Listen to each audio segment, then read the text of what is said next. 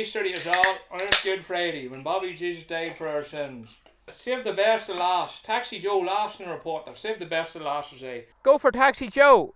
And it's not a coincidence that it stopped on Easter week. It's going to do the exact same as Bobby Jesus. So I want to raise a toast to the Newry Reporter and Bobby Jesus.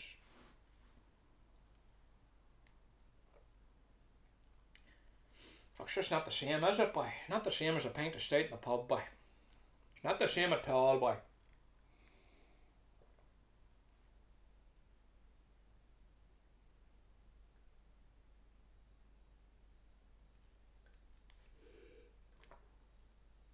Ah, nah. Nah. Nah. No good. No good. But I'm going new all for Easter, boy. All I'm wearing in the next three days is my togs. That's it, boy. I'm not putting an last stitch on me. I'm just gonna walk about my togs. Don't give a flying fuck. So I thought to myself, if I go notch at all, better blue for the ladies, you know what I'm saying? But you see, this is a time where you want to respect the things that are good in life, the things that mean something to you. Like my taxi Susie. I'll Susie's out the front there gathering dust and it breaks me heart, boy. Breaks me heart. This big campfire we're all sitting over, Mother Nature's just telling us, be good to one another, be kind, don't be a hellion, wash yourself. See getting on the roads now at all, boy, it's full of people of spandex. Irish people should not be wearing spandex. You'd see less jiggling from a jelly on a washing machine.